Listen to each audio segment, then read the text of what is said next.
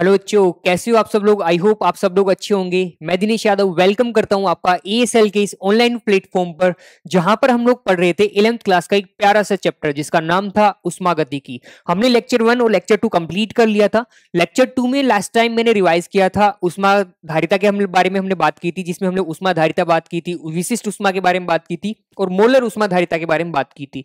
वहाँ पर हमारे पास एक टर्म आया था सीएम जिसको हम लोग दो जगह मेजर करते थे। चलो जरा मैं आपको वापस से रिकॉल करवा देता हूँ। रिकॉल में मैंने क्या बात की थी? सबसे लास्ट में हमने जो बात की थी सीएम के बारे में मतलब मोलर उष्मा धारिता के बारे में बात की थी, जिसको मैं डायरेक्ट सीएम से यहाँ पर रिप्रेजेंट कर रहा हूँ। मोलर उष्मा धारिता को हमने दो जगह मेजर किया था। एक तो हमने मेजर किया था कहाँ पर? नियत आयतन पर, और एक हमने इसको मेजर किया था नियत दाब पर। कहा मेजर किया था? नियत दाब पर। ओके, अब कौन कौन बताएगा कि सर नियत दाब पर जब हमारे पास उष्मा धारिता आती थी, मोलर उष्मा धारिता आती थी तो उसको तो हम लोग क्या बोलते थे? सी पी बोलते थे और नियत आयतन पर जब होती थी तो उसको हम लोग क्या बोलने लग गए थे? सी वी बोलने लग गए थे। तो जरा मैं इसको यहाँ पर लिख भी देता हूँ कि जब भी हमारे पास आयतन नियत होगा तो सीएम आपका क्या बन जाएगा तब? आपका सीएम बन जाएगा सीवी और जब आपका दाब नियत होगा तो यहाँ पर आपके पास जो सीएम होगा, वो क्या बन जाएगा आपका? वो बन जाएगा सीपी बन जाएगा। बताइए, यहाँ से आपने उष्मा के लिए फॉर्मूला भी एक लिख दिया था। उष्मा के लिए फॉर्मूला क्या लिखा था? क्यों अब कहाँ देख रहे हो? आयतन नियत है तो वी पे देख रहे हो तो यहाँ पर क्या हो जाएगा? क्यों वी हो जाएगा is equals to N C V delta T हो जाएगा क्या? बताइए, यहाँ पर क्या बन जाएगा? यहाँ पर हम लोग बोलेंगे, सर, नियत आयतन पर देख रहे हैं तो जो उष्मा में परिवर्तन होगा वो भी कहाँ होगा? नियत सॉरी नियत दाब पर ही होगा। ओके तो चलो यहाँ पर जो नियत दाब है, इसके लिए फॉर्मूला क्या बन जाएगा? एन सीपी डेल्टा टी बन जाएगा क्या? बताइए, आपने ये कहानी पहले वाले लेक्चर में बात कर ली थी, अब इसी को हम लोग आगे बढ़ाते हुए हम लोग बात करेंगे, जो आपके पास सीपी और सीवी बना ना। ये अलग अलग गैसेस के लिए क्या होता है? अलग अलग होता है। अब इनकी कैलकुलेशन अपने को चेक करनी है तो कैलकुलेशन चेक करने के लिए हमें क्या करना पड़ेगा? वो जरा देखिए। तो अब हमें क्या करना है? सीपी और सीवी की गणना करना अलग अलग मॉलिक्यूल्स के लिए। तो उसके लिए मैं एक टेबलर फॉर्म आपके लिए ले गया हूँ। इस टेबलर फॉर्म को हमको फिल करना है। यहाँ पर आपको सिर्फ़ तीन वैल्यू याद रखनी है, बाकी पूरी टेबल आपको याद रह जाएगी। तो आई होप आप लोग आप सब लोग उन तीन वैल्यूज़ को इजीली याद रख लोगे। तो चलिए हम लोग देखते हैं यहाँ पर। हमारे पास जो सीपी और सीवी की गणना है, वो एकाणु परमाणुओं के लिए कैसे कैलकुलेट करेंगे? सबसे पहले मैं बात करता हूँ एकाणु परमाणुओं के लिए। एकाणु परमाणु कौन से होते हैं? जिनमें केवल एक ही परमाणु हो। सोचो कौन से है ऐसे?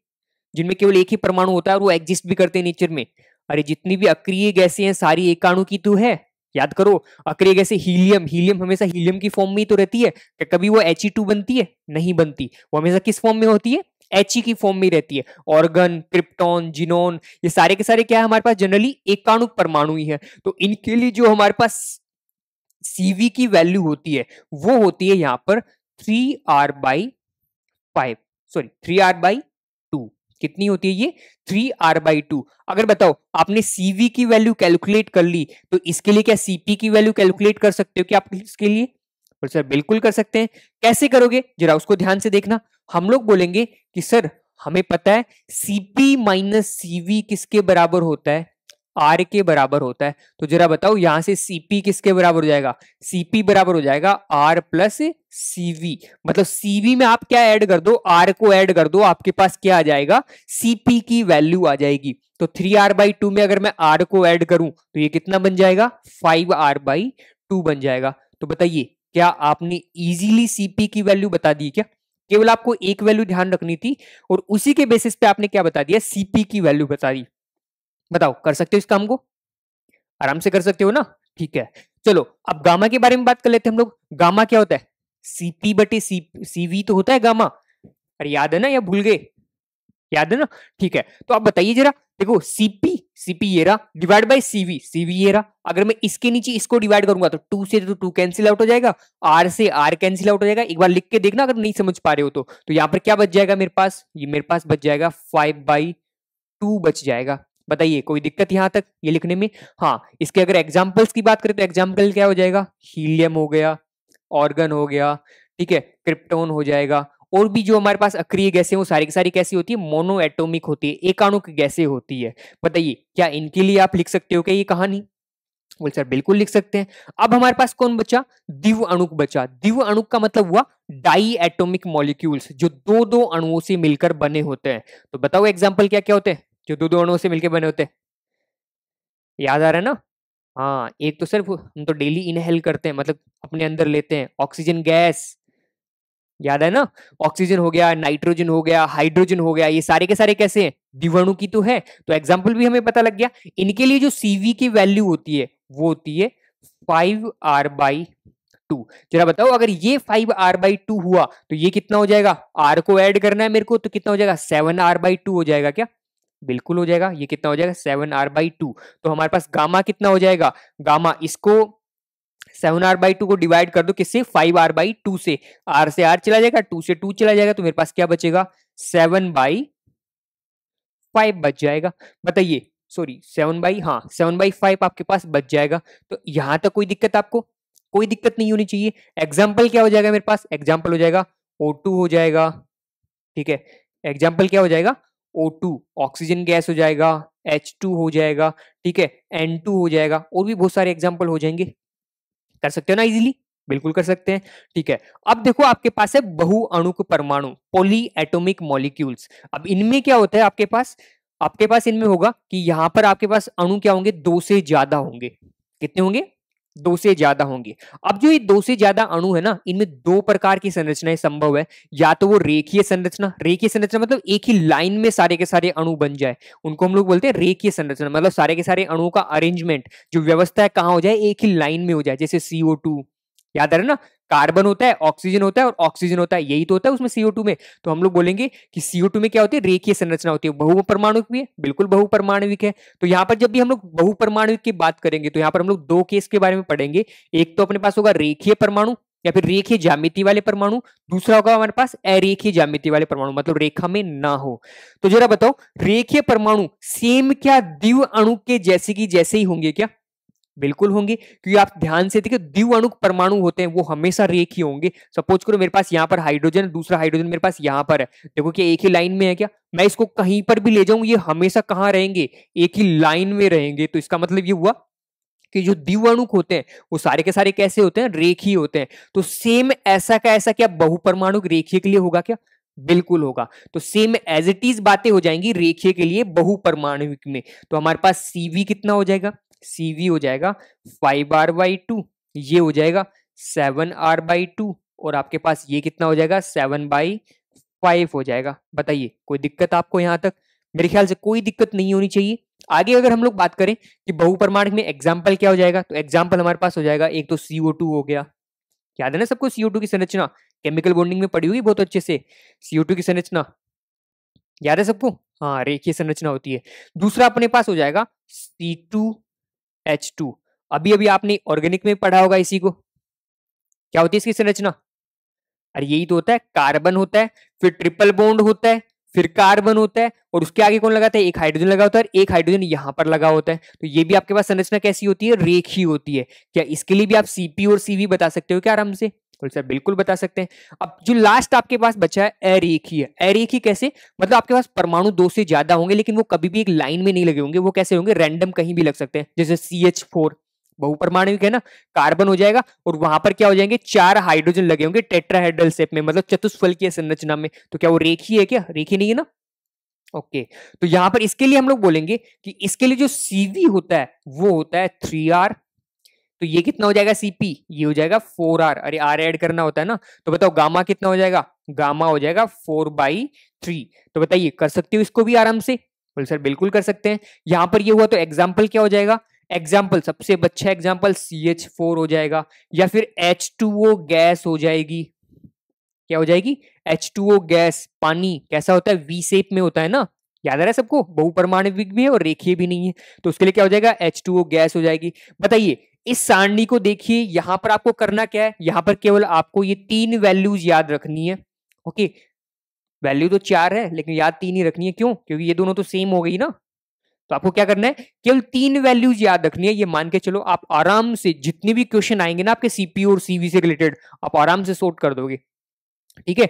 हाँ बिल्कुल कहीं टेंशन नहीं आएगी आपको सीपी और सीवी के क्वेश्चन करने में। हाँ तो अब हम लोग, मेरे ख्याल से आप लोग को ये बात समझ में आ गई होगी। अब हम लोग आगे चलते हैं थोड़ा सा। आगे चल के हम लोग चैप्टर में आगे बढ़ते हैं। चैप्टर में आगे हमारे पास क्या आएगा? अब है हमारे पास आंतरिक ऊर्जा। देखो, आंतरिक ऊर्जा का मतलब क्या है? सोचो थोड़ा। नाम में ही छुपा हुआ है इसका मतलब। आंतरिक ऊर्जा। याद आ रहा है कुछ? हाँ। मन में ऐसे आ रहा होगा ना, सर, अंदर की आग। जो भी अंदर आग होगी। आग क्या होती है? ऊर्जा तो मान के चलते हम लोग। हाँ बिल्कुल। तो हम लोग बोलेंगे कि किसी भी तंत्र के अंदर जितनी प्रकार की ऊर्जाएँ हैं, या फिर जो भी उसके अंदर ऊर्जा है, वो मेरे पास क्या होगी? उसकी आंतरिक ऊर्जा होगी। सपोज़ करो जिस मार्कर है, इस मार्कर के अंदर जितनी ऊर्जा होगी, वो सारी की सारी मेरे लिए क्या होगी? आंतरिक ऊर्जा होगी। अब वो ऊर्जा कोई सी भी हो सकती है। वो आपके पास कौन सी हो सकती है गतिज ऊर्जा भी हो सकती है, ठीक है? नाभिकीय ऊर्जा भी हो सकती है। जितनी आप ऊर्जाएँ जान सकते हो ना, और जितनी नहीं जानते, वो उन सबको भी अगर मैं जोड़ दूँ तो सारी की सारी मेरे पास क्या होगी? आंतरिक ऊर्जा के बराबर होगी। तो अब जरा इधर आ जाओ, आंतरिक ऊर्जा की तरफ़। आंतरिक ऊर्जा को हम लोग अंग्रेज़ी में बोलते हैं इंटरनल एनर्जी क्या बोलते हैं? Internal energy internal energy okay इसको हम लोग रिप्रेजेंट भी करते हैं। इसको रिप्रेजेंट करने के हमारे पास होते हैं दो सिंबल कौन कौन से होते हैं? दोनों से आपको परेशान किया जा सकता है तो उसके लिए तैयार रहना। इसको हम एक तो रिप्रेजेंट करते हैं ई e से रिप्रेजेंट करते हैं कैपिटल ई e, या फिर इसको कभी कभी हम लोग रिप्रेजेंट करते हैं कैपिटल यू से भी रिप्रेजेंट करते हैं। किससे? कैपिटल यू से। तो दिक्कत मत लेना, कहीं पर भी दोनों फॉर्म में आपको लिखा हुआ मिल सकता है। अब चलो, इसकी परिभाषा की बात कर लेते हैं हम लोग। तो परिभाषा के बारे में हम लोग क्या बोलेंगे? किसी तंत्र में निहित सभी प्रकार की ऊर्जाओं का योग क्या कहलाता है? आंतरिक ऊर्जा कहलाता है। तो मैं डायरेक्ट लिख देता हूँ। पहला पॉइंट क्या हो जाएगा हमारे पास यहाँ पर? कि किसी तंत्र में निहित, किसी तंत्र में निहित निहित सभी प्रकार की। अभी सभी प्रकार से मतलब है कि वहाँ पर जितनी प्रकार की ऊर्जाएँ हो सकती है ना, वो सारी की सारी प्रकार की ऊर्जाओं का योग। अब इनमें से देखो, बहुत सारी ऊर्जाएँ तो हमें पता भी नहीं होती और बहुत सारी ऊर्जाएँ हमें जानते हैं। बहुत सारी के बारे में तो हम लोग इन्फॉर्मेशन है, लेकिन अभी भी बहुत सारी ऊर्जाएँ ऐसी है जिनको हम लोग नहीं जानते तो उन सबको मैं जोड़ूँगा ना, तब जाके मेरे पास क्या आएगी? आंतरिक ऊर्जा आएगी। तो सभी प्रकार की ऊर्जाओं का योग। बताइए, आप बता सकते हो क्या? इसी को हम लोग क्या बोलते हैं? आंतरिक ऊर्जा बोलते हैं क्या?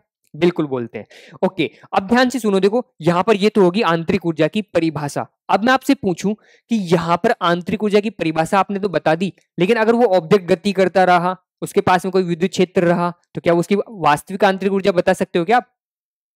चलो, नहीं समझ में ठीक है, थोड़ा सुनना इसको। मैं बोल रहा हूँ कि आपके पास एक ब्लॉक है। क्या है? जरा ध्यान से देखना। आपके पास एक ये ब्लॉक है, यहाँ पर लिख देता हूँ, आपके पास ये एक ब्लॉक है। अगर इस ब्लॉक की मेरे को आंतरिक ऊर्जा निकालनी है तो मैं बोल रहा हूँ इस ब्लॉक को लेके मैं भाग रहा हूँ।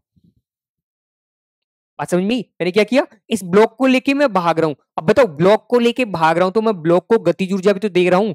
तो अब बताओ, यहाँ पर क्या ब्लॉक की खुद की ऊर्जा है क्या? इसको मैं गतिज ऊर्जा भी प्रदान कर रहा हूँ तो यहाँ पर जब ऊर्जा निकल के आएगी तो क्या उसमें गतिज ऊर्जा और जुड़ जाएगी क्या? मैं जो लेके भाग रहा हूँ वो। तो बताओ, क्या वो इसकी आंतरिक ऊर्जा होगी?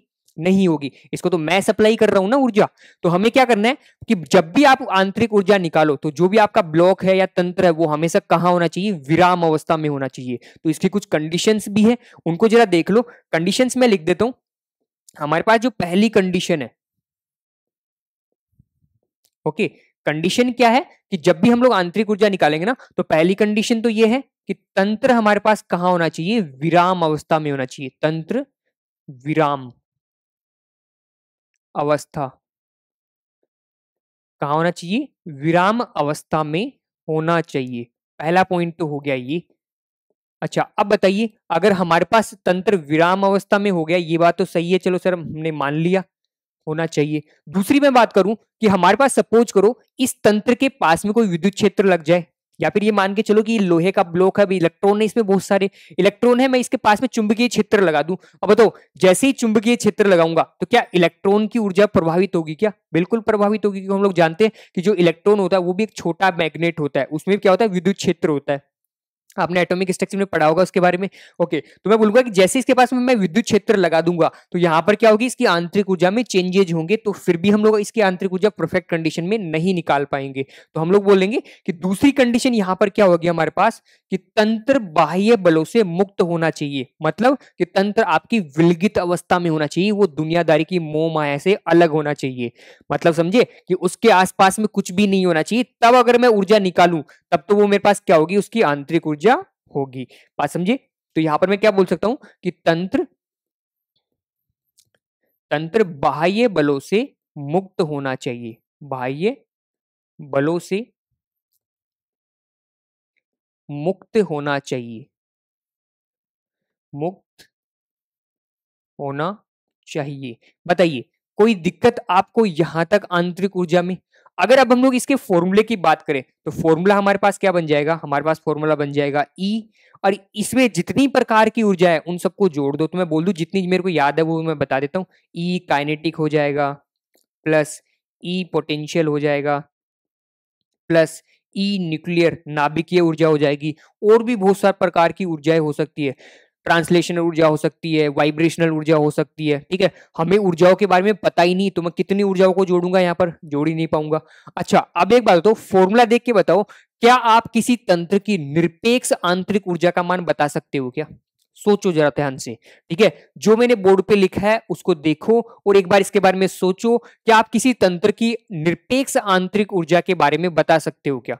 जल्दी से कमेंट सेक्शन में कमेंट कीजिए, क्या आप किसी तंत्र की निरपेक्ष आंतरिक ऊर्जा के बारे में बता सकते हो क्या? बताइए। मेरे ख्याल से नहीं बता सकते।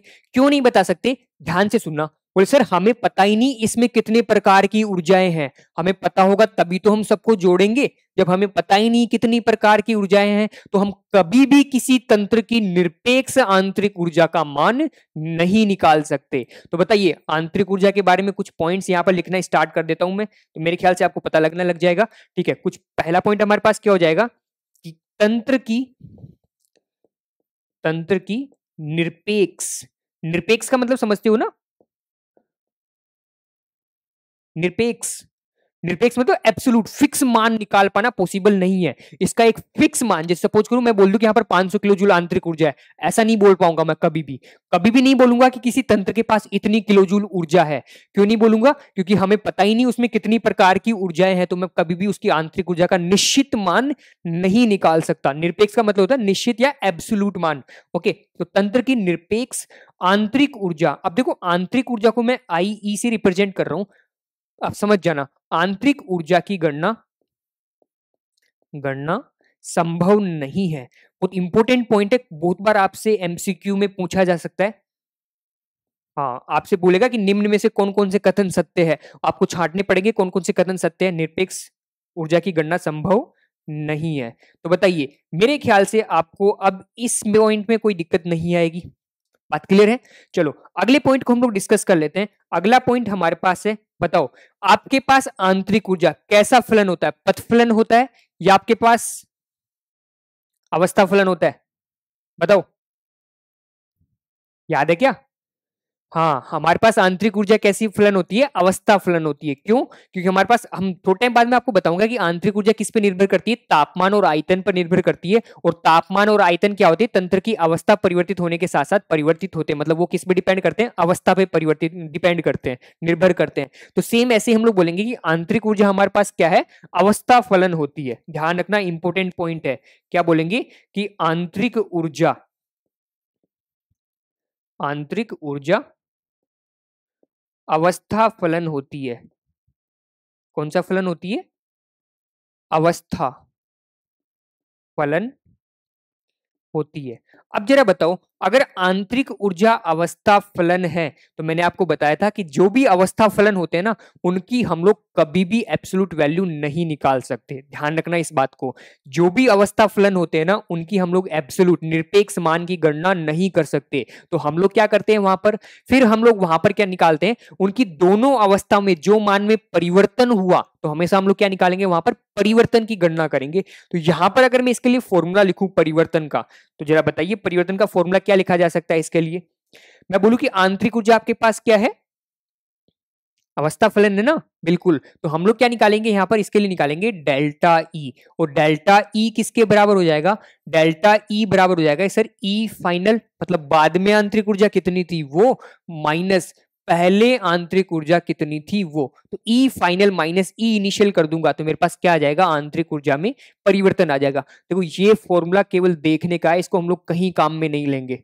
कहीं भी न्यूमेरिकल इस फॉर्मूले से सोल्व नहीं होगा। क्यों नहीं होगा? क्योंकि आपको पता ही नहीं होगा फाइनल आंतरिक ऊर्जा कितनी होगी और इनिशियल आंतरिक ऊर्जा कितनी होगी। तो इसको हम लोग काम में नहीं लेंगे। अभी थोड़े टाइम बाद में फॉर्मूला बताऊँगा, जिनकी हेल्प से हम लोग डेल्टा ई e को कैलकुलेट करेंगे।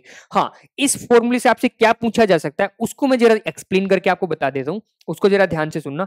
अब देखो, यहाँ पर आपके पास दो कंडीशन बन सकती है। दो कंडीशन क्या बन सकती है? पहली कंडीशन मैं बोल सकता हूँ कि आपके पास ई e फाइनल ज़्यादा हो जाए किससे?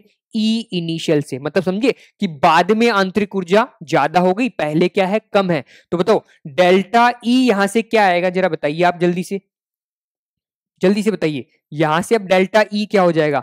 सर डेल्टा ई यहाँ से हो जाएगा धनात्मक। क्यों हो जाएगा? जरा ध्यान से देखो, ये वाली वैल्यू पॉजिटिव में ज़्यादा रहेगी और ये वाली नेगेटिव में कम रहेगी। तो ज़्यादा पॉजिटिव में से कम नेगेटिव जाएगा तो क्या आएगा? धनात्मक होगा। तो ये हमारे पास कैसी होगी? धनात्मक होगी। इसका मतलब ये हुआ कि आंतरिक ऊर्जा में वृद्धि हो रही है। ध्यान रखना, जब भी हमारे पास डेल्टा ई पॉजिटिव होगा तो इसका मतलब क्या होगा? आंतरिक ऊर्जा में वृद्धि हो रही है। लिखना चाहो तो इसके नीचे लिख लेना कि आंतरिक ऊर्जा में वृद्धि होती है। दूसरी कहानी अगर मैं बात करूँ, मेरे पास आ जाए दूसरी कंडीशन अब ये तो देखो मैंने पहली कंडीशन बोल दी, दूसरी कंडीशन क्या हो जाए कि ई e फाइनल मेरे पास क्या हो जाए? कम हो जाए किससे? ई e इनिशियल से। किससे कम हो जाए? ई e इनिशियल से कम हो जाए। तो अब जरा ध्यान से देखो यहाँ पर। अगर ये बात हो गई तो यहाँ पर मैं क्या बोल सकता हूँ? डेल्टा ई मेरे पास कैसा होगा? बताइए। अरे नेगेटिव हो जाएगा क्या डेल्टा ई समझ रहे हो ना? हाँ बिल्कुल। बोले, सर, ये वाला क्या हो जाएगा आपके पास? बड़ी वैल्यू हो जाएगी और ये वाली क्या हो जाएगी? छोटी वैल्यू हो जाएगी। तो हमारे पास बड़ी वैल्यू माइनस की है, छोटी वैल्यू प्लस की है तो ओवरऑल वैल्यू का आएगी? वो कैसी हो जाएगी आपके पास? नेगेटिव आ जाएगी क्या? तो आराम से कर सकते हो। तो इसका मतलब क्या हुआ कि तंत्र की आंतरिक ऊर्जा में कमी होती है। बताइए, कोई दिक्कत यहाँ तक? कोई दिक्कत है क्या? मेरे ख्याल से कोई दिक्कत नहीं होनी चाहिए। अगर अब हम लोग यहाँ पर कुछ बातें और करें, जैसे कुछ इंपॉर्टेंट बातें अब जरा ध्यान से सुनते हुए चलना। ठीक है? इंपॉर्टेंट बात है। वो मैं बोल रहा हूँ कि हमारे पास जो आंतरिक ऊर्जा होती है, किसी भी तंत्र के लिए, ओके? वो तंत्र कोई सा भी हो, आपके पास चाहे वास्तविक हो, ओके? वास्तविक ठोस दर हो गैस, कुछ भी हो सकता है। अगर हम लोग किसी तंत्र के लिए बात करें कि हमारे पास तंत्र की आंतरिक ऊर्जा किसकी फलन होती है तो हम लोग बोलेंगे तंत्र की आंतरिक ऊर्जा आयतन और तापमान की फलन होती है। तो मैं डायरेक्ट लिख देता हूँ कि मेरे पास जो भी तंत्र होता है, उसकी आंतरिक ऊर्जा फलन होती है किसका? आयतन की और टेम्परेचर की फलन होती है। ठीक है? वो ज़्यादा इंपॉर्टेंट है, ध्यान रखना, इसको स्टेटमेंट बेस में भी पूछा जा सकता है। तो अगर आप स्टेटमेंट लिखना चाहो इसका तो वो भी लिख सकते हो। स्टेटमेंट में क्या बोलोगे? कि तंत्र की आंतरिक ऊर्जा, आयतन तथा तापमान का फलन होती है। अगर इसी को मैं बात करूँ इसके लिए? आदर्श गैस के लिए। तो जरा ध्यान से देखना आदर्श गैस के लिए ये होती है ई इक्वल्स टू एफ़ मतलब केवल और केवल किसका फलन होती है? तापमान का फलन होती है। क्यों होती है? इसको जरा ध्यान से सुनना। हम लोग गैस स्टेट में बोल के आए थे कि सर, जब भी कोई आदर्श गैस होती है तो उसका आयतन क्या होता है? हम लोग लगभग नगण्य मान के चलते हैं। अब जरा बताओ, आयतन को हम लोग नगण्य मान के चलते हैं तो आयतन में परिवर्तन भी क्या हो जाएगा? लगभग ज़ीरो ही तो होगा। तो जब आयतन में कुछ परिवर्तन होगा, आयतन में परिवर्तन ही नहीं होगा मतलब आयतन पे निर्भर ही नहीं करेगी तो बताओ वहाँ पर वो किसमें निर्भर करेगी? केवल और केवल टेम्परेचर पे डिपेंड करेगी। तो ये ने लिख दिया। तो इसको भी जरा ध्यान से रखना। जो सेकंड वाला बना, वो किसके लिए बना है? सेकंड वाला बना है, उसको भी जरा लिख दे, लिख ज़रूर देना, क्योंकि हम लोग बोलेंगे, ये किसके लिए होगा? केवल केवल आदर्श गैस के लिए। आदर्श गैस के लिए। बताइए, कोई दिक्कत आएगी क्या आपको यहाँ पर? मेरे ख्याल से कोई दिक्कत नहीं आनी चाहिए। ये जो इक्वेशन बनी वो किसके लिए होगी? केवल और केवल आदर्श गैस के लिए होगी। बात समझ रहे हो? ठीक है, अब इसके बाद देखो हम लोग क्या कैलकुलेट करेंगे। एक फॉर्मूला मैं आपको बता देता हूँ कि आदर्श गैस के लिए जब भी हम लोग डेल्टा ई कैलकुलेट करेंगे ना, वो कैसे कैलकुलेट करने वाले हैं। अभी थोड़ा सा डेरिवेशन इसमें मैं नहीं बता पाऊँगा, क्योंकि थोड़ा सा लेंदी डेरिवेशन हो जाएगा और मैथमेटिकल डेरिवेशन है और वो आपके अभी सिलेबस का पार्ट भी नहीं है। वो आप जब हायर क्लास में जाओगे जेई एडवांस की अगर आप तैयारी करोगे तो वहाँ पर आपको ये, खैर वहाँ पर भी डेरिवेशन तो आपको नहीं बताया जाएगा, क्योंकि डेरिवेशन में आपको मतलब नहीं है। आपको केवल फॉर्मूले से मतलब होना चाहिए, क्योंकि यहाँ पर आप क्या करने वाले हो, आपको मार्क्स लाने, ना कि आप यहाँ पर रिसर्च करने वाले हो। तो यहाँ पर एक जनरल फॉर्मूला मैं आपको लिखवा देता हूँ, वो आपको याद हो जाएगा टेंशन मत लेना, बिल्कुल ही आपको याद हो जाएगा थोड़े टाइम में। अगर आप उस फॉर्मूले को बार बार बार बार देखोगे ना तो इजीली आपको याद हो जाएगा। इसी फॉर्मूले से निकल के आता है वो, हम लोग बोलते हैं कि यहाँ पर जो डेल्टा ई e होती है, वो इक्वल होती है N C P delta sorry N C V delta T के इक्वल होती है। ओके तो आंतरिक ऊर्जा का ये वाला फॉर्मूला ध्यान रखना, इसी फॉर्मूले से हम लोग क्वेश्चन को सोल्व करेंगे। ये फॉर्मूला कुछ और भी याद दिला रहा है आपको? देखो जरा ध्यान से। अरे क्यू वी के बराबर ही तो है ये फॉर्मूला तो हम लोग बोल सकते हैं कि डेल्टा ई e बराबर क्यू वी बराबर N C V delta T तो बताइए, कोई दिक्कत आएगी क्या आपको आंतरिक ऊर्जा वाले क्वेश्चन को सोल्व करने में? आप इजिली फॉर्मूले से क्या कर सकते हो? क्वेश्चन को सोल्व कर सकते हो।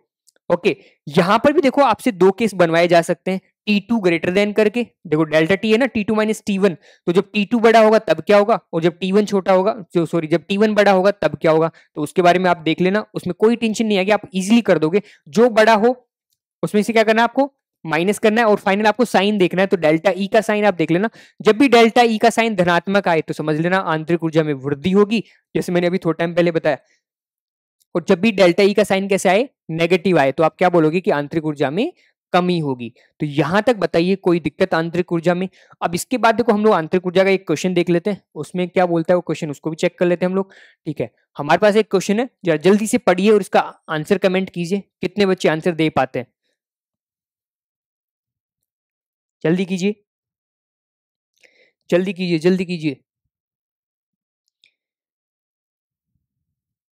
अगर देखो, आपको क्वेश्चन अगर ध्यान से देखो तो आंसर भी आपको इस क्वेश्चन में दिख रहा होगा। आंसर कैसे दिख रहा होगा? जरा ध्यान से देखो। यहाँ पर क्या बोल रहा है कि मेरे पास एक कोई तंत्र था, वो भी अवस्था ए पर था। यहाँ से चल के वो कहाँ पहुँच गया? अवस्था बी पर पहुँच गया। फिर वो कहाँ पर आ गया? अवस्था ए पर आ गया। ये ऊपर वाला प्रोसेस तो अनुत्क्रमणीय प्रक्रम सॉरी उत्क्रमणीय प्रक्रम से गया। तो यहाँ पर उत्क्रमणीय था और जो ऊर्जा में हास हुआ वो तीस किलो जूल था। यहाँ पर वो किससे आया? अनुत्क्रमणीय से आया। और यहाँ पर अब उसने क्या पूछे कि आंतरिक ऊर्जा में परिवर्तन बताइए। तो जरा ध्यान से सुनो। आंतरिक ऊर्जा कैसा फलन है आपके पास?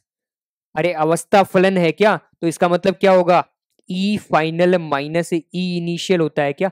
अब जरा बताओ, दोनों जगह आपके पास फाइनल स्टेट भी सेम है? देखो ए से गया बी पर और बी से कहा आ गया? वापस आ गया ए पर। तो आपके पास जो प्रारंभिक अवस्था थी, वही अंतिम अवस्था हो गई क्या?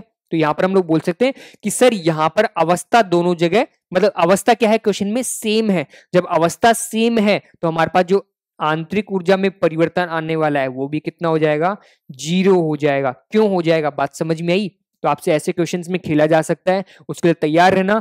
आप तैयार इसलिए रहना कि प्रक्रम चाहे किसी भी प्रक्रम से हुआ वो प्रोसेस किसी भी प्रक्रम से हो, चाहे समतापीय हुआ हो उत्क्रमणी हो, अगर आपके पास अवस्था सेम है, प्रारंभिक अवस्था और अंतिम अवस्था सेम है तो मान के चलना, वहाँ पर अवस्था फलन हमेशा ज़ीरो रहेगा। क्या बोलेंगे कि अगर दोनों अवस्थाएँ सेम हो तो अवस्था फलन क्या रहेगा आपके पास? ज़ीरो रहेगा। बताइए, कोई दिक्कत आपको इस क्वेश्चन में? मेरे ख्याल से कोई दिक्कत नहीं होनी चाहिए। अब हम लोग आगे चलते हैं। आगे हम लोग बात करते हैं उष्मा के बारे में। उष्मा के बारे में आपने पहले भी बहुत बार सुना होगा। ठीक है? मैंने भी एक बार क्वेश्चन दिया था आपको होमवर्क के लिए कि उष्मा और ऊर्जा में क्या संबंध होता है या फिर क्या अंतर होता है दोनों में। दिया था क्या? याद है सबको? हाँ बहुत सारे बच्चों ने आंसर भी दिया था। बहुत अच्छी बात है। ठीक है? अब देखो, यहाँ पर अगर हम लोग उष्मा की बात करें, उष्मा को हम लोग क्या बोलते हैं? हीट बोलते हैं क्या? क्या बोलते हैं इसको? हीट ठीक है? इसको रिप्रेजेंट किससे करते हैं? कुछ लोग स्मॉल क्यू से भी करते हैं। हाँ कैपिटल क्यू से भी कर सकते हैं तो टेंशन मत लेना। कैपिटल क्यू आपके पास जहाँ भी लिखा हुआ दिख जाए तो इसका मतलब क्या है? वो किसको रिप्रेजेंट कर रहा है? उष्मा को रिप्रेजेंट कर रहा है। अब सुनना देखो ध्यान से, यहाँ पर दो चीज़ें हैं। मैं एक बार आपको वापस से बता देता हूँ थोड़ा सा ठीक है? जब भी हमारे पास एनर्जी का ट्रांसफॉर्मेशन होगा, किसका?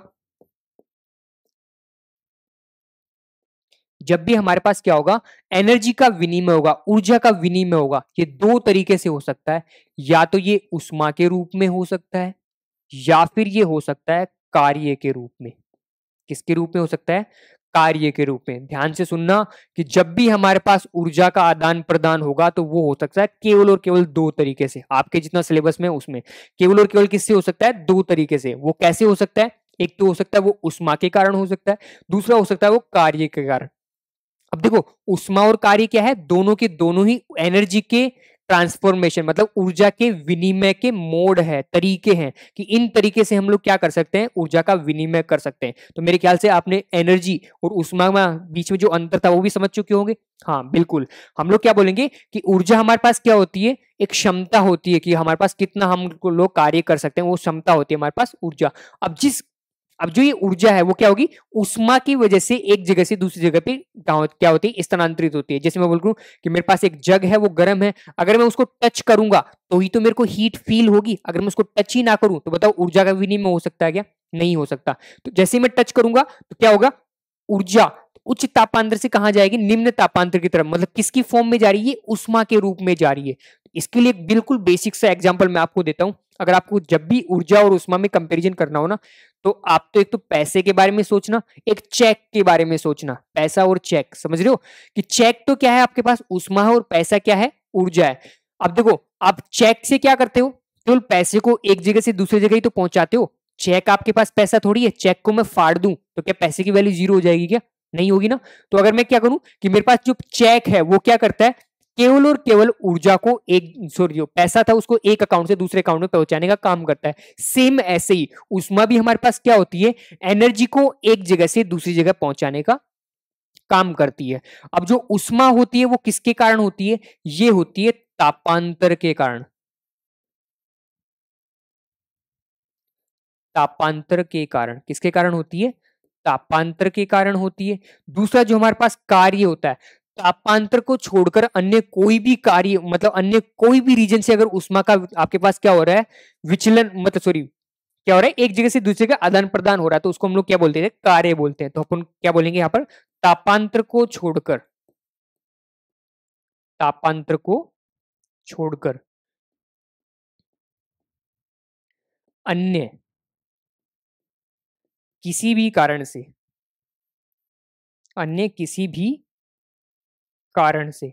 तो यहाँ पर मेरे ख्याल से स्लाइड में आपको एनर्जी के बारे में दो, जो दो मोड होते हैं उष्मा और कार्य, उनके बारे में एक बेसिक इंट्रोडक्शन आपको मिल गया होगा कि हमारे पास जो उष्मा होती है, वो किसके कारण फ्लो होती है? तापांतर के कारण फ्लो होती है और तापांतर को छोड़कर अन्य कोई भी कारण हो, चाहे आयतन में परिवर्तन करके हो रहा हो, चाहे दाब में परिवर्तन करके हो रहा हो, उन सबके लिए हम लोग कौन जिम्मेदार होता है? कार्य जिम्मेदार होता है। तो यहाँ से आपको एक बात क्लियर हो चुकी होगी कि हमारे पास अगर उष्मा की परिभाषा हम लोग लिखना चाहे तो उष्मा की परिभाषा क्या हो जाएगी? उष्मा की परिभाषा हो जाएगी आपके पास तंत्र तथा परिवेश के मध्य। परिवेश के मध्य,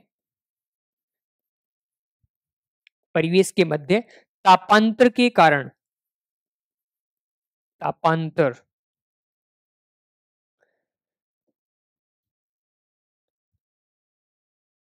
तापांतर के कारण के कारण होने वाला होने वाला ऊर्जा विनिमय, होने वाला ऊर्जा विनिमय। क्या कहलाता है आपके पास? उष्मा कहलाता है। होने वाला ऊर्जा विनिमय क्या कहलाता है? उष्मा कहलाता है। तो ध्यान से सुना, वापस से मैं एक एग्जांपल दे रहा हूँ। सपोज़ करो, आपके पास एक सिस्टम है, अभी इसका टेम्परेचर 50 डिग्री सेल्सियस है। मेरे पास एक दूसरा परिवेश है, बाहर परिवेश है, इसका टेम्परेचर अभी 20 डिग्री सेल्सियस तो बताओ क्या होगा? क्या आपके तंत्र से उष्मा निकल निकल के कहा जाएगी? बाहर परिवेश में जाएगी? तो इसका मतलब ये हुआ कि तंत्र में से ऊर्जा निकल रही है, वो उष्मा के रूप में कहा जा रही है? परिवेश में जा रही है। बात समझिए तो यहाँ पर क्या होगा? तापांतर के कारण आपके पास क्या होगा? ऊर्जा का विनिमय होगा। अब इसके बारे में कुछ बातें कर लेते हैं हम लोग। बातें क्या है? सबसे पहले, बताइए, ये आपके पास अवस्था फलन है या पथ फलन है? ध्यान से समझिए, सोचिए और फिर बोलिए। समझ गए ना? हमारे पास ये क्या है? पथ फलन है। क्योंकि मैंने बताया था आपको केवल दो ही है आपके पास जो किस पे निर्भर करते हैं? पथ पे निर्भर करते हैं। एक तो किस, एक तो कौन था? कार्य था और एक कौन था? उष्मा था तो हम लोग सिंपली बोल देंगे, ये कैसा है? पथ फलन पथ फलन होती है या होता है, जो भी आप बोलना चाहो। ओके तो अब देखो, यहाँ पर ये पथफलन हो गया। दूसरी बात अगर मैं बात करूँ, क्या ये एक्सटेंसिव है या इंटेंसिव है? तो ये थोड़ा सा इंपॉर्टेंट है। तो हम लोग क्या बोलेंगे कि सर ये ना तो एक्सटेंसिव है, ना ही इंटेंसिव है। बहुत सारे बच्चे इसको एक्सटेंसिव एक्सटेंसिव बोले जा रहे थे। ठीक है, मैंने पहले भी कमेंट्स आपके देखे थे जब फ़र्स्ट लेक्चर में मैंने इसके बारे में पूछा था। तो ये मान के चलना कि हमारे पास उष्मा क्या है? ना तो एक्सटेंसिव है, ना ही इंटेंसिव है। इसका कारण यह है कि उष्मा आपके पास तंत्र की प्रॉपर्टी नहीं है। वो क्या है कि जब भी आप उसको टच करोगे तो सरफेस पे होने वाली ये घटना है। जब भी आप सपोज़ करो किसी ऑब्जेक्ट को आप टच ही नहीं कर रहे तो वहाँ पर उष्मा का आदान प्रदान होगा ही नहीं। किसी तंत्र के अंदर उष्मा है तो वो स्टोरी रहेगी। हम लोग बोल सकते हैं कि ये क्या होती है, एक सरफेस की घटना होती है, किसी तंत्र की घटना नहीं होती है। जैसे आयतन होता है ना आयतन क्या होता है? तंत्र का आयतन होता है ना? सेम ऐसी उष्मा क्या होती है? तंत्र की घटना मतलब तंत्र के लिए हम लोग क्या बोल सकते हैं? वो तंत्र का गुण नहीं है। ये कैसी है? सरफेस की घटना है। बात समझ रहे हो? ओके तो हम लोग बोलेंगे, ये ना तो एक्सटेंसिव होती है, ना तो एक्सटेंसिव एक्सटेंसिव जानते हो ना सब लोग? हाँ विस्तीर्ण। ना तो एक्सटेंसिव है और ना ही इंटेंसिव ये पॉइंट इंपॉर्टेंट है, ध्यान रखना, बहुत सारे बच्चे इसमें कंफ्यूज होते हैं।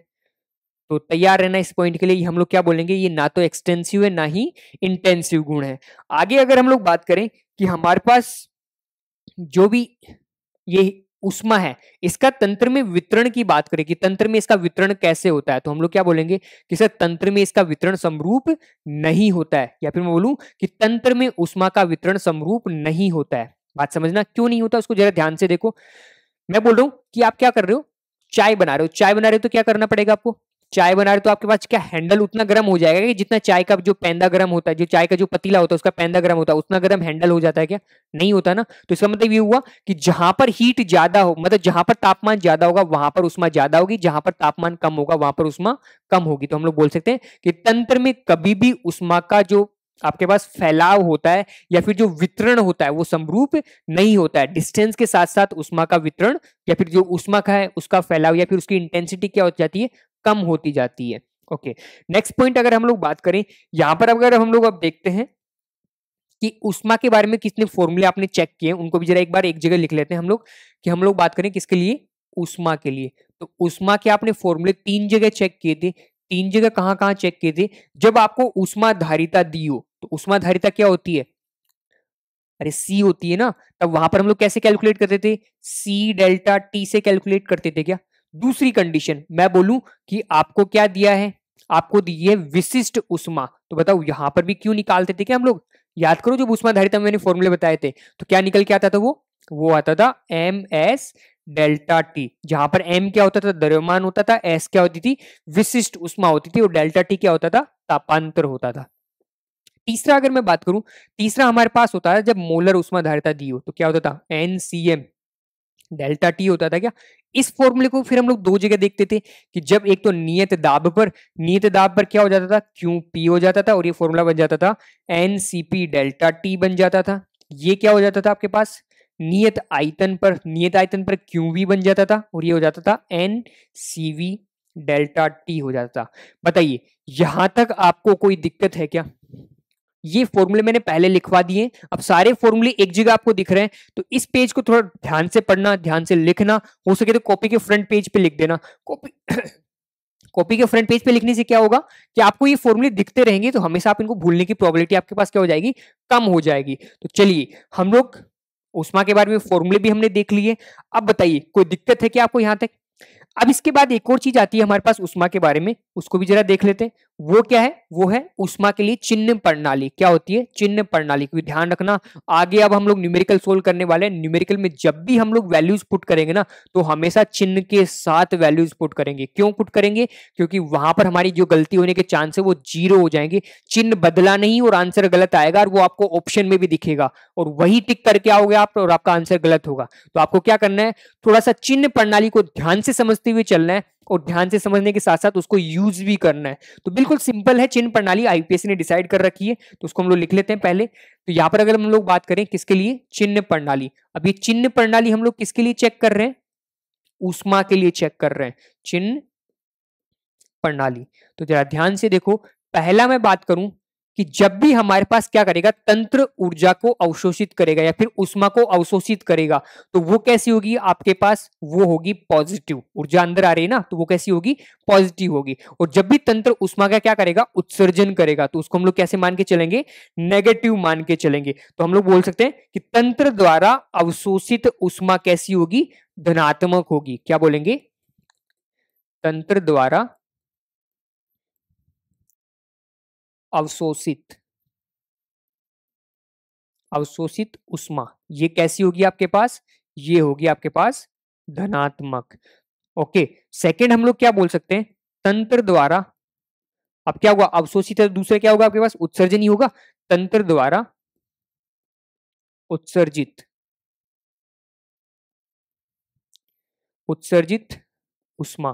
ये कैसी है आपके पास? ये होगी नेगेटिव तो ध्यान रखना आप तो इसको आपने बचपन में पढ़ा होगा, उष्मा छेपी और उष्मा सोसी आप उससे भी इसको ध्यान रख सकते हो। उष्मा छेपी क्या होती थी? ऊर्जा बाहर निकलती थी। उष्मा सोसी मतलब ऊर्जा अंदर आती थी। सो वैसे ही ध्यान रख लो आप कि जब भी तंत्र द्वारा उष्मा अवशोषित होगी, उष्मा अंदर आएगी तो उसको आप कैसे लेके चलोगे? पॉजिटिव लेके चलोगे और जब भी उत्सर्जित होगी मतलब बाहर निकलेगी तो उसको कैसे लेके चलोगे? नेगेटिव लेके चलोगे। तो ये तो कुछ बेसिक बातें थी हमने उष्मा के बारे में की। अब सेम ऐसे ही हम लोग वर्क के बारे में डिस्कस करेंगे। ठीक है?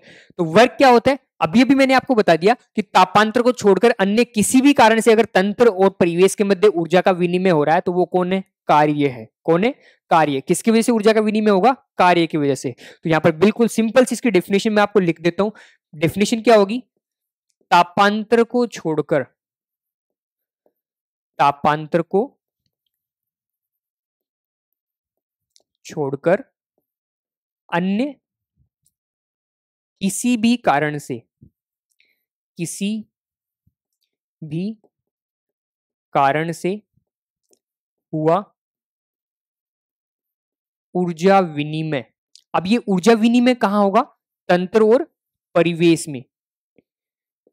ऊर्जा विनिमय कार्य कहलाता है। क्या बोलेंगे हम लोग? तापांतर को छोड़कर अन्य किसी भी कारण से हुआ ऊर्जा विनिमय आपके पास क्या कहलाता है?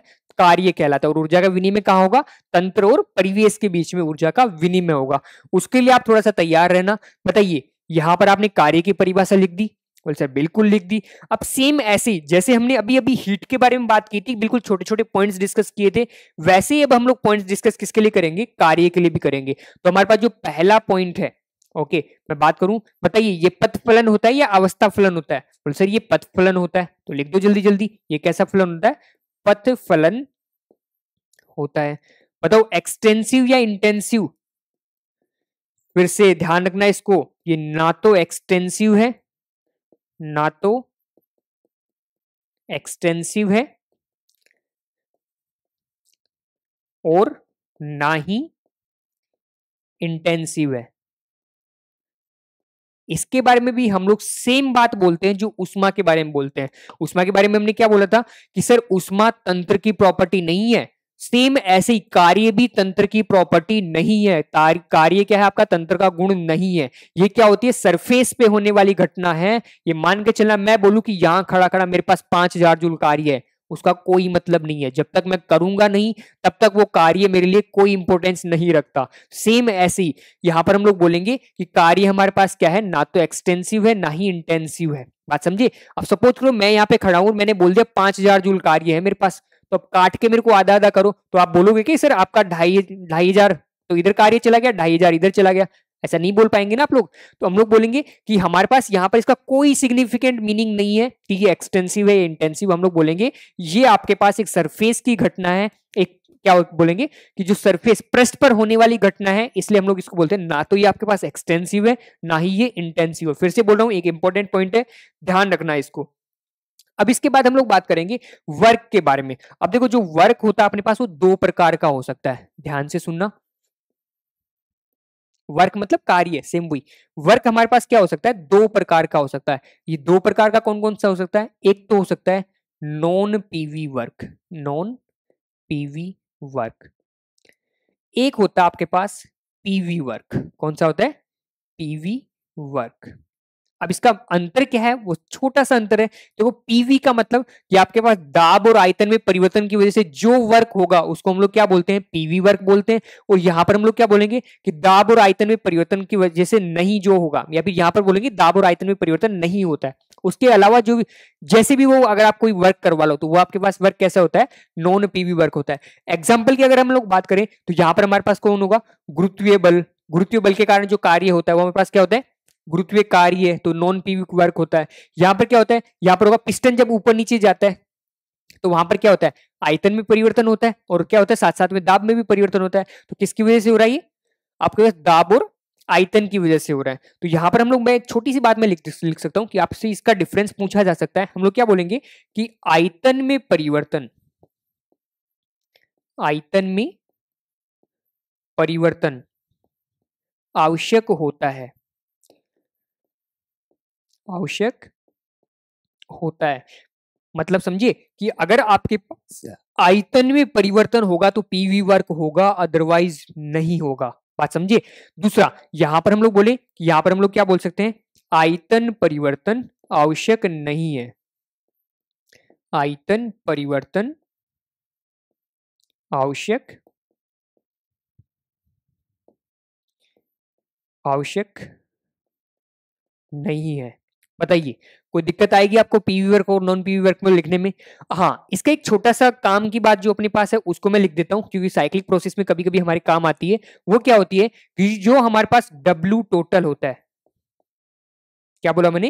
कि जो भी हमारे पास डब्लू टोटल होता है, ये किसके बराबर होता है? ये बराबर होता है W PV work plus W non PV work के बराबर होता है। अगर इन दोनों को मैं जोड़ दूँ तो मैं बोलूँगा कि हमारे पास तंत्र में जो टोटल वर्क है, वो हम लोग कैलकुलेट कर सकते हैं। बात समझिए मैक्सिमम टाइम देखो क्या होगा? अपने पास नॉन पीवी वर्क क्या होने वाला है? ज़ीरो रहेगा।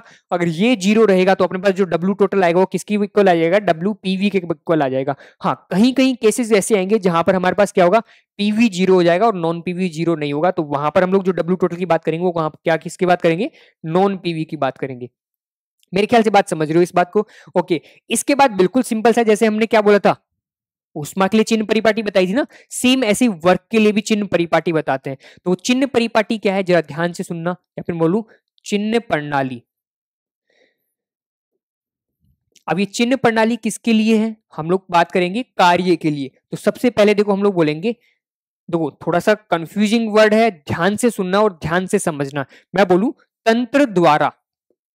देखो जो मैं बोल रहा हूँ, लिख रहा हूँ, उसको जरा ध्यान से देखना।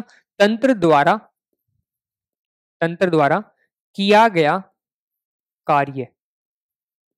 किया गया कार्य। एक सेंटेंस और लिख रहा हूँ मैं। थोड़ा सा लिख रहा हूँ, उसको देख के फील करने की कोशिश करो कि हो क्या रहा है। तंत्र द्वारा किया गया कार्य। दूसरा मैं बोलूँ तंत्र पर किया गया कार्य। किया गया कार्य। अब जरा बताओ, मैं यहाँ पर बोलूँ, आपके पास दो लाइनें, तंत्र द्वारा किया गया कार्य और तंत्र पर किया गया कार्य। अब इसको जरा ध्यान से देखो। देखो, मेरे को पहाड़ चढ़ना है तो मैं क्या करूँ? या तो मैं खुद अपने पैरों से चलता चलता चलता चलता पहाड़ चढ़ लू। तो बताओ, किसने कार्य किया? मैंने खुद ने कार्य किया ना तो अगर मैं तंत्र हूँ तो यहाँ पर मैंने किसने काम किया? मैंने खुद ने कार्य किया। अब दूसरा, दूसरी पॉसिबिलिटी क्या होती है? मैं क्या करूँ? कहीं पर भी, या फिर कोई मेरे को उठा के लेके जाए और पहाड़ पे ले जाके छोड़ दे। अब बताओ, किसने काम किया? किसी दूसरे आदमी ने या फिर मैं बोलूँ कि मेरे अलावा जो भी होगा वो परिवेश ही तो होगा। तो परिवेश ने मेरे ऊपर कार्य किया और मेरे को उठा के कहाँ भेज दिया? पहाड़ पे छोड़ के आ गया। बताओ, यहाँ पर दोनों बातें समझ में आई क्या? मैं बोल रहा हूँ, तंत्र द्वारा किया गया कार्य, जब मैं खुद, मैं तंत्र हूँ, मैं खुद कार्य करूँगा तो वो क्या होगा? तंत्र द्वारा कार्य होगा। दूसरा, तंत्र पर किया गया कार्य, जब परिवेश बाहर बाहर का जो भी होगा, परिवेश मेरे ऊपर जो कार्य करेगा, उसको मैं क्या बोलूँगा? तंत्र पर किया गया कार्य। तो यहाँ पर हम लोग क्या मान के चलते हैं? आईपीएससी ने ये बोल दिया, पहले डिसाइड कर दिया आईपीएससी ने। क्या डिसाइड किया? उसको जरा ध्यान से सुनना कि जब भी हमारे पास तंत्र द्वारा किया गया कार्य होगा ना, वो हम लोग कैसे लेके चलेंगे? नेगेटिव लेके चलेंगे। कैसा लेके चलेंगे? नेगेटिव जब भी तंत्र काम करेगा, उसको हम लोग कैसा लेके चलेंगे? ऋणात्मक लेके चलेंगे। ध्यान रखना इस बात को। ओके फिजिक्स में जस्ट उल्टा होता है तो फिजिक्स में मत बह जाना। मैं फिर से बोल रहा हूँ, यहाँ पर तंत्र पर किया गया कार्य हम लोग कैसा चलेंगे लेके चलेंगे? ऋणात्मक लेके चलेंगे। और दूसरा तंत्र पर किया गया कार्य, इसको हम लोग लेके चलेंगे धनात्मक। कैसा लेके चलेंगे? धनात्मक लेके चलेंगे। तो मेरे ख्याल से बातें आपको समझ में आ रही होंगी। चिन्ह प्रणाली भी आप समझ चुके हो। किसके लिए चिन्ह प्रणाली बात कर ली हमने ये? वर्क के बारे में चिन्ह प्रणाली ज्ञात देख ली हमने। अच्छा अब हम लोग आगे देखते हैं कार्य की गणना। थोड़ा सा इंपॉर्टेंट है, ध्यान से समझना। ओके, मैं सिंपल फॉर्मूला आपको बताऊँगा कार्य की गणना हम लोग कैसे करते हैं। उसके लिए थोड़ा सा पिस्टन वाली असेंबली है, उसको समझने की कोशिश करना। ओके मैं बोल रहा हूँ कि आपके पास एक पिस्टन है। पिस्टन तो जानती हो ना? लास्ट लेक्चर में मैंने समझाया था आपको। मैं बोल रहा हूँ कि आपके पास ये क्या है? पिस्टन है। अब इस पिस्टन में क्या भरा हुआ है आपने? गैस भर रखी है। यहाँ पर मैं इसको थोड़ा सा अच्छे से ड्रो भी कर देता हूँ।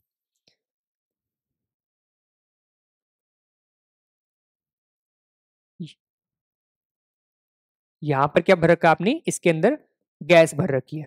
अब बताओ, यहाँ पर दो पॉसिबिलिटी है क्या? पहली पॉसिबिलिटी तो क्या है? एक तो आपके इस पिस्टन के ऊपर दाब लग रहा है, किस कौन सा वाला? पी गैस लग रहा है। ओके दूसरी पॉसिबिलिटी कौन सी? यहाँ पर एक बाह्य दाब लग रहा है पी एक्सटर्नल लग रहा है, नहीं लग रहा? अब बताओ, मैं आपसे बोलूँ कि अगर गैस का दाब ज़्यादा हो गया, किसका दाब ज़्यादा हो गया? गैस का दाब ज़्यादा हो गया तो बताइए क्या होगा? क्या पिस्टन बाहर की तरफ़ मूव करेगा क्या? बोले, सर, बिल्कुल बाहर की तरफ़ मूव करेगा क्यों? क्योंकि जैसे अंदर का दाब ज़्यादा होगा पिस्टन कहाँ जाएगा? बाहर की तरफ़ चलेगा। ओके, दूसरी कंडीशन में क्या बोलूँ कि जब मैं बाहर के दाब को बढ़ा दूँ तो क्या होगा? पिस्टन क्या अंदर की तरफ़ मूव करेगा क्या? सर, बिल्कुल अंदर की तरफ़ मूव करेगा। तो अब यहाँ पर क्या हुआ, उसको जरा ध्यान से देखना। जब भी पिस्टन बाहर जा रहा है तो क्या गैस बाहर फैल रही है क्या? तो जब फैलते हैं, उसको बोलते हैं प्रसार। क्या बोलते हैं? प्रसार। तो अब देखो, जब भी गैस फैलेगी, पिस्टन बाहर की तरफ़ जाएगा तो उस कार्य को बोलेंगे प्रसार कार्य। कौन सा कार्य बोलेंगे? प्रसार कार्य। जैसे में पिस्टन अंदर की तरफ़ जाएगा तो यहाँ पर क्या होगा? गैस संकुचित होगी क्या? अरे पास पास में आएँगे ना गैस के कण तो उसको हम लोग बोलेंगे संपीड़न कार्य। क्या बोलेंगे? संपीड़न कार्य। तो देखो, दो बातें मैंने यहाँ पे बोली, एक तो प्रसार कार्य और एक संपीड़न कार्य। क्या दोनों वर्ड्स का मतलब समझे क्या? बहुत बार बच्चे इसी में कंफ्यूज होते हैं कि सर प्रसार कब होगा, संपीड़न कब होगा, दिमाग में नहीं आती बातें। ओके तो यहाँ पर मैंने क्या बोला कि प्रसार कब होगा? जब गैस फैलेगी, तब हमारे पास क्या होगा? प्रसार होगा और जब गैस गैस के कण पास पास में आएँगे, संकुचित होंगे, उसको बोलेंगे संपीड़न। तो यहाँ पर देखो, अगर पिस्टन बाहर की तरफ़ निकल रहा है तो उसको मैं क्या बोलूँगा? प्रसार कार्य बोलूँगा। पिस्टन अगर अंदर की तरफ़ जा रहा है तो उसको मैं क्या बोलूँगा? संपीड़न कार्य बोलूँगा। बताइए, कोई दिक्कत है क्या आपको यहाँ तक? मेरे ख्याल से कोई दिक्कत नहीं होगी। तो अब जरा यहाँ पर देखो, मैं इसके बारे में एक जल्दी से एक फॉर्मूला आपको बता देता हूँ कि देखो, मैं बोलूँ कि जब भी आपके पास थोड़ा सा पिस्टन बाहर गया बिल्कुल छोटा सा पिस्टन बाहर गया। बोलू डीएक्स डिस्टेंस पिस्टन बाहर गया। तो बताओ गैस थोड़ा बहुत काम की होगी कि पिस्टन को बाहर धक्का धक्का देने के लिए? तो बोलू डी डब्ल्यू कार्य उसको करना पड़ा। छोटे छोटे कार्य की हम लोग बात करते हैं। फिर हम लोग क्या करेंगे? जब जिस रेंज में कैलकुलेट करना हो उनका समाकलन कर देंगे तो सबको जोड़ देंगे तो हमारे पास क्या आ जाएगा? पूरा का पूरा कार्य आ जाएगा। तो मैं बोल रहा हूँ कि डीएक्स विस्थापित करने के लिए करने के लिए डी डब्ल्यू कार्य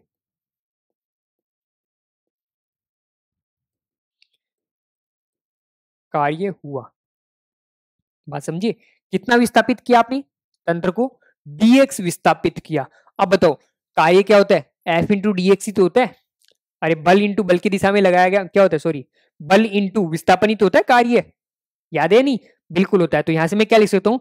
हम लोग यहाँ से लिख सकते हैं D W is equal to क्या लिखेंगे? एफ़ डॉट डी एक्स जरा ध्यान से बताओ आईपीएससी ने क्या बोला? माइनस लेके चलेंगे कि यहाँ पर?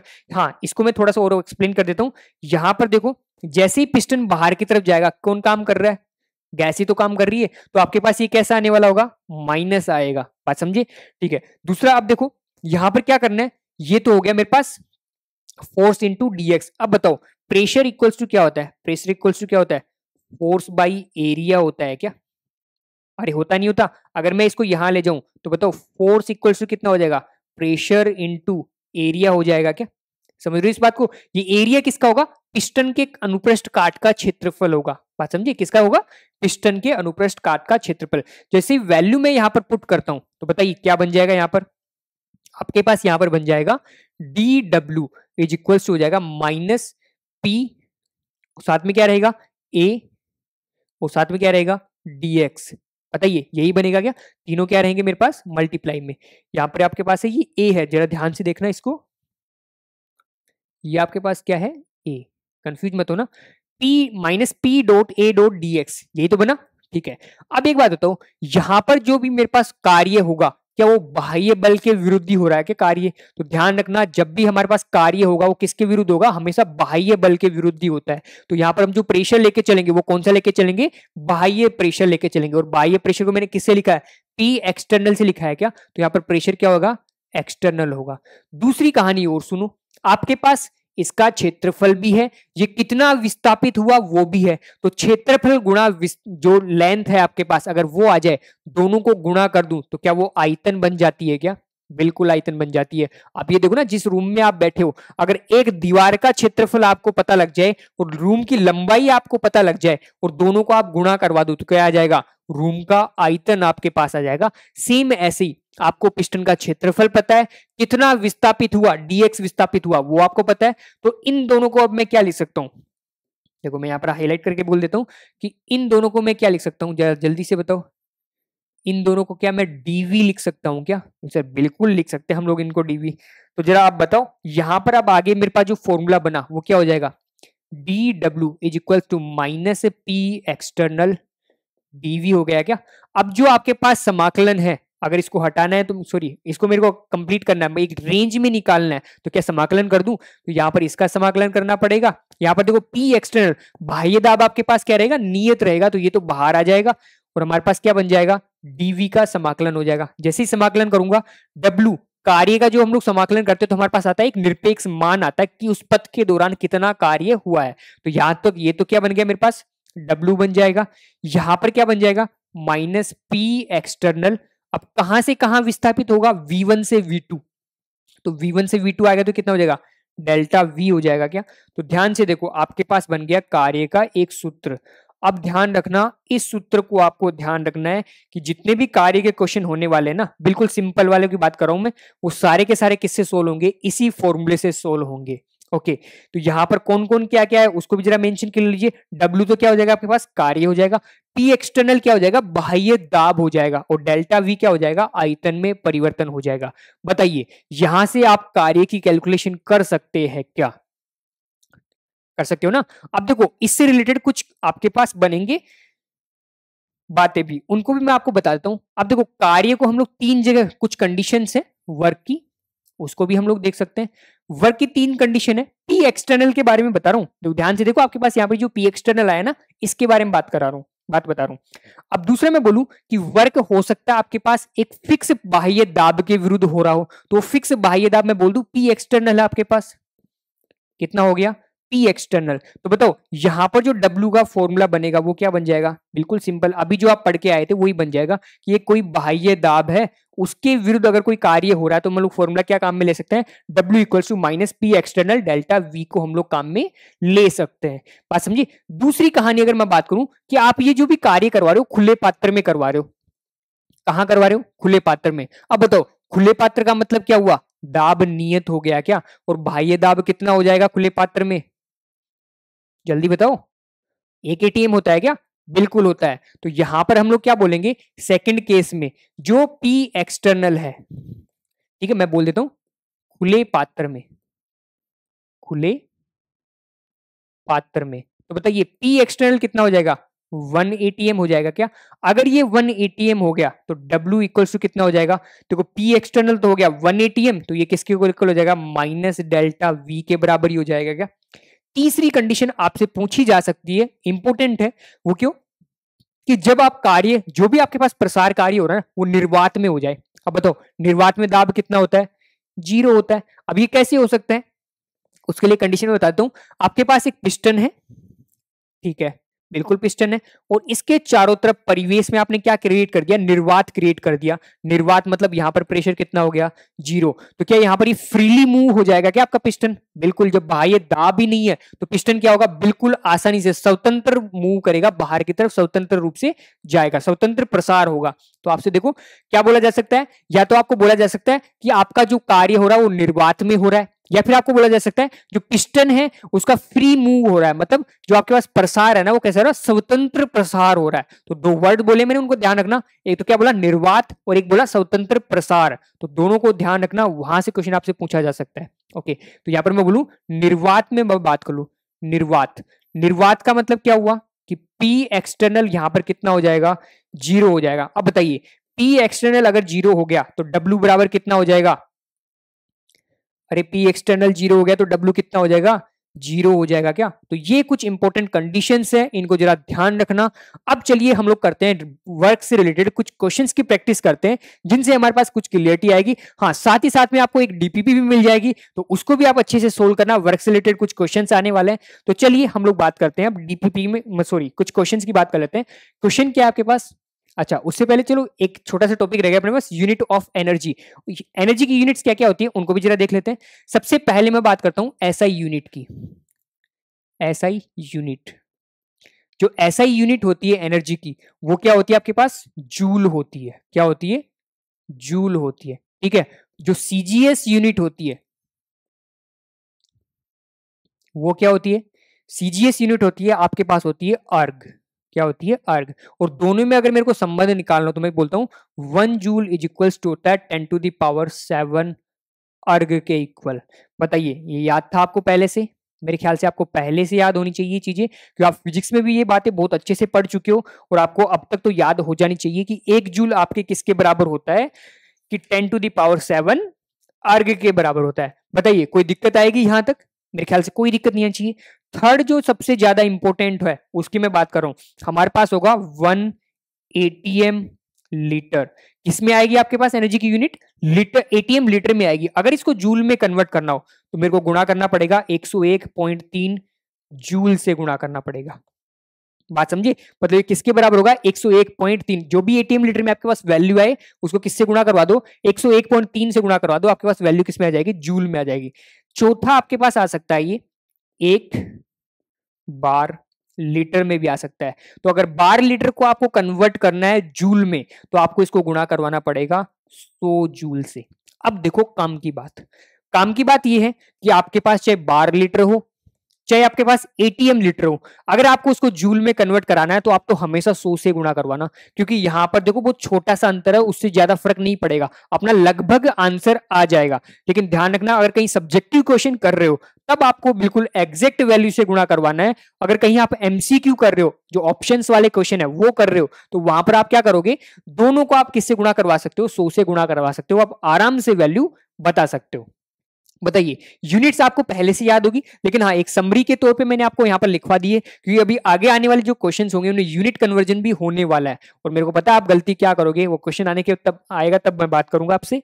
ओके चलिए, आगे चलते हैं, हम लोग एक क्वेश्चन पे चलते हैं। ये बोल रहा है, निम्न परिस्थितियों में प्रत्येक में कार्य ज्ञात कीजिए। एक बार क्वेश्चन को पढ़ लीजिए आप सब लोग, और फिर देखिए कि आप कार्य निकाल सकते हो या नहीं निकाल सकते यहाँ पर।